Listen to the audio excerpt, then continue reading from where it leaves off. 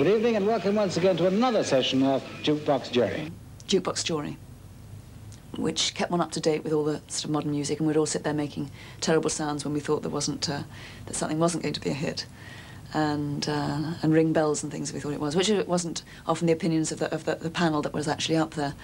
Uh, Lloyd Price, yes. Well, the other day I was in a youth club, and uh, uh, one of the boys came up to me and said, "What? Uh, who's my favourite rock and roller?" And I said, "Lloyd Price." He said, "Oh, I don't like him. I think he's nothing." but uh, I, I, I think Lloyd Price is good. But on this particular record, I, I, I agree with him. He's nothing. I, Thank you.